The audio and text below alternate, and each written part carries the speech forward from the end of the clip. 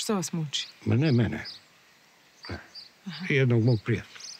Ali on ne bi htio da se to zna. Što muči tog vašeg prijatelja? Pa, neće mu gore. Šta neće gore? A, A od kad vas to muči? pa, ne mene, njega muči.